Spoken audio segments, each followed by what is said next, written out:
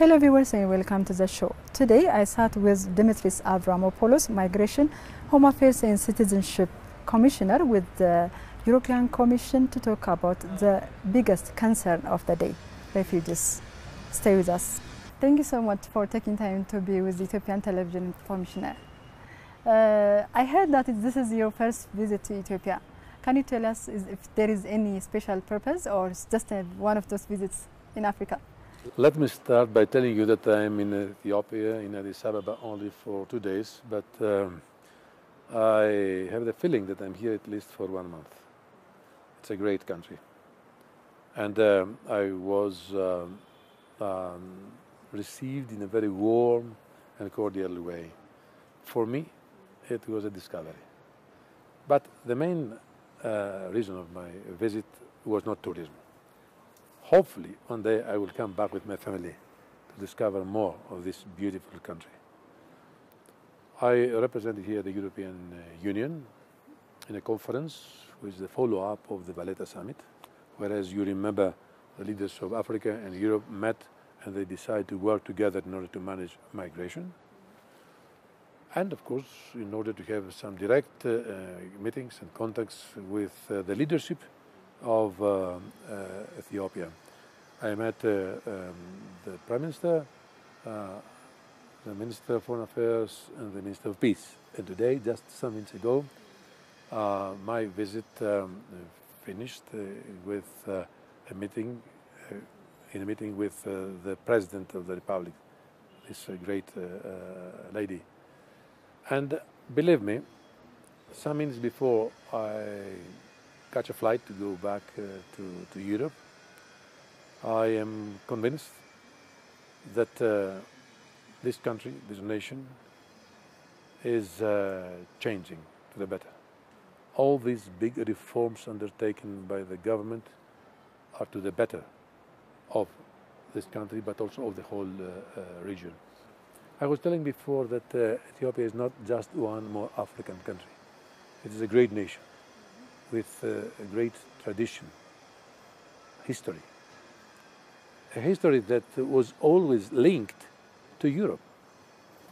And today, in this global landscape, in this volatile global situation, if there are two stakeholders that they can really work together in the name of peace, stability, cooperation, progress, is Europe and Africa in general. And within Africa, Ethiopia can play a leading uh, role.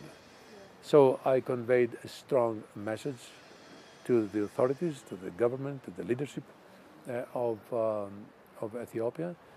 And today I'm living taking back a very strong message to the European leadership that there is a common will to work together in order to address and manage all these big challenging issues, including migration and security. It's good for you to know and for our spectators that uh, I'm responsible on behalf of the European Union both for migration and security. These two issues prevail right now, not only in the European political agenda, but in the global political agenda. Yeah, we're going to talk more about migration, by the way. But I wanted to comment on the current reform the country is going on. You know, it's political. We have political reform, economic reform. But would you point point out the reform that you think is very supportive for the future of Ethiopia? I can tell you that you have a very strong and wise, determined, visionary leadership all these reforms undertaken by the government, and as I said in the beginning, I'm sure will inaugurate a new era for uh, this great nation. Deeper democratic institutions, more transparency, uh, a leading uh, role in the whole uh, region, structural uh, reforms, a new administration, a deep change on everything. I would say, that's how I would interpret it, a, a revolutionary reform, but in democratic terms and rules. And this is what will ensure a better future for everybody. I noticed that uh, priority is given to the younger generations. You know, Ethiopia is uh, characterized by a democratic, demographic explosion. The majority of the population of Ethiopia are young people, and they demand from their authorities, from their political representatives, from their leadership, to provide them with more opportunities for the future. Not only in finding a job, but in opening a very auspicious horizon for them to exercise their right to life here in conditions of stability and security. And this country is blessed by God, history, and nature. You have everything here. What the country needs is a strategy for the future. So, I can tell you that what has been decided will be supported, first of all, by the citizens of Ethiopia. And at the same time, since everything today has taken international dimensions, will be in the interest of the neighborhood. A neighborhood that has suffered a lot in the past. Let me tell you here that uh, it is to be praised and commended that the government, in such a short period, managed to solve this problem with Eritrea. Because a very strong signal to the whole world how does the leadership is perceiving its role that goes beyond the borders of, of the country. So, I'm very optimistic.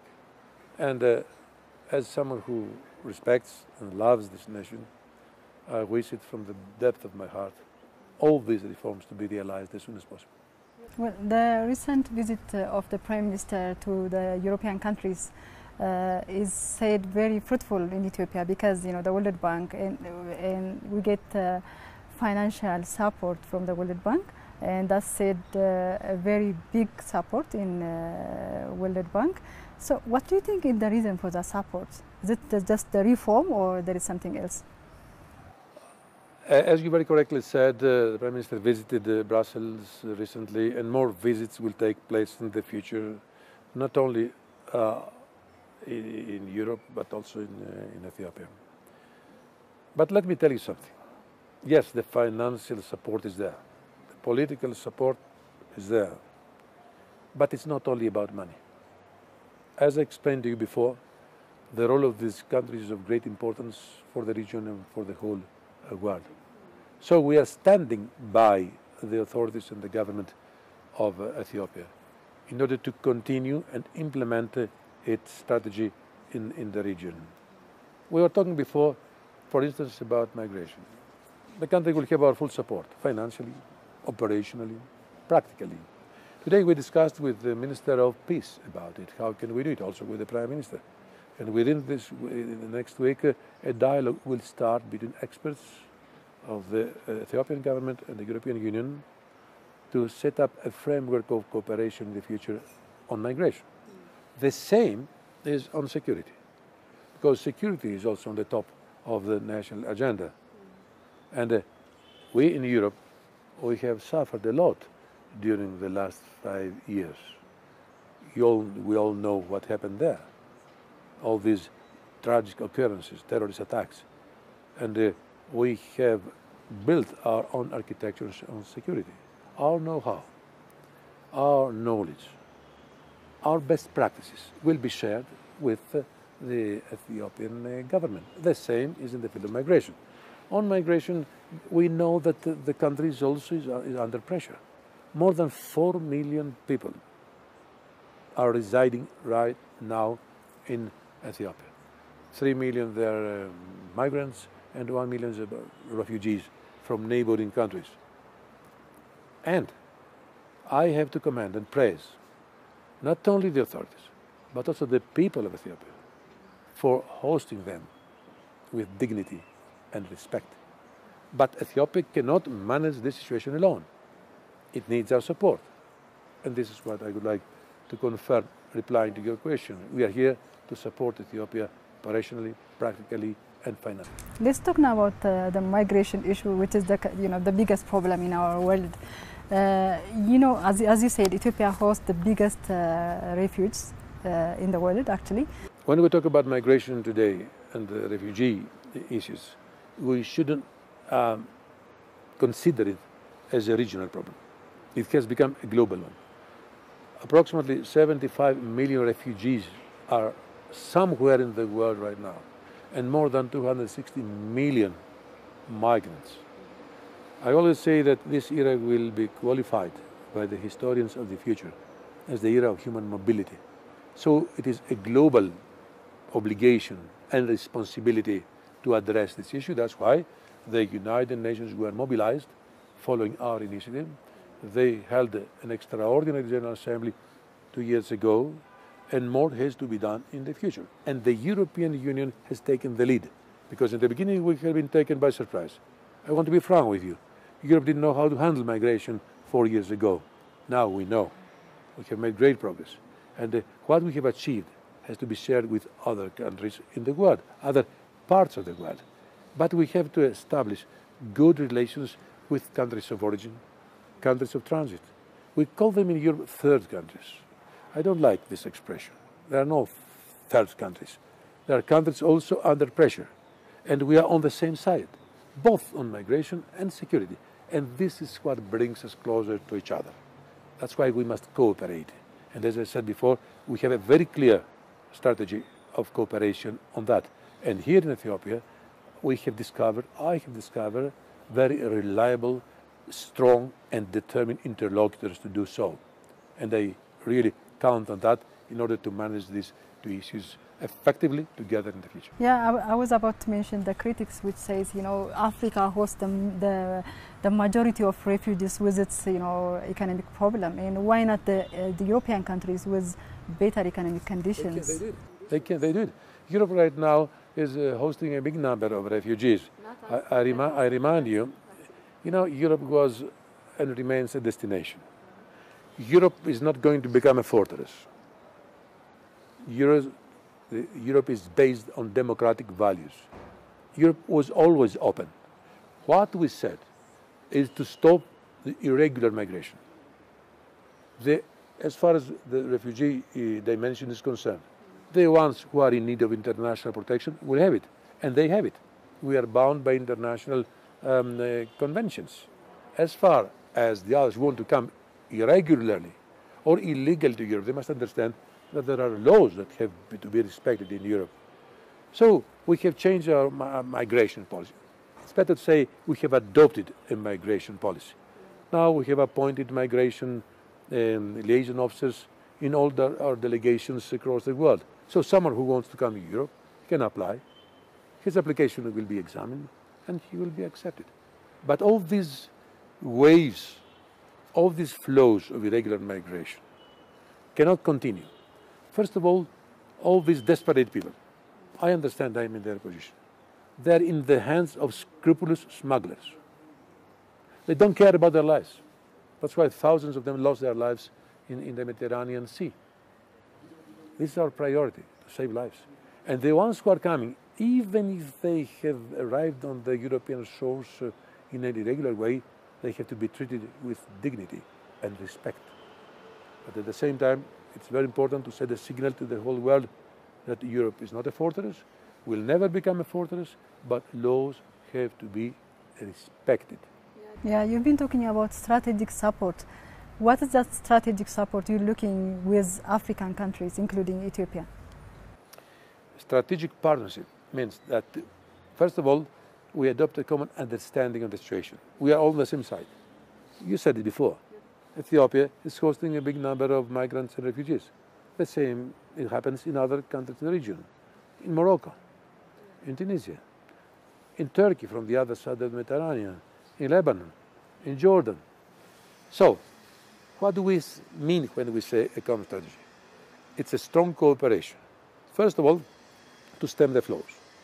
Second, to create the necessary conditions for the ones who want to come to Europe to prefer to stay in their homeland. We are here to support all these countries in terms of development, economically. We are here to do that. But in order to achieve it, we have to work together. We have to adopt a common platform on that, a common strategy.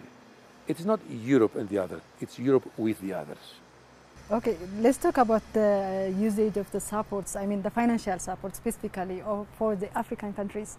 Uh, you know, it's, it's been said that the support is not uh, placed in the right place. As you said, the youth are in a great, um, you know, risk.